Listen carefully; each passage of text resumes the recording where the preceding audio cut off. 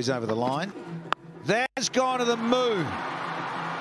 And not quite. Oh, it's over. Yeah, I think that's six. Very close. Releases the ball. Doesn't release in time. He's going with OUT. Mark Deyal is going to have to trudge off here. They're saying Peter Hatzoglou has come up with the goods here.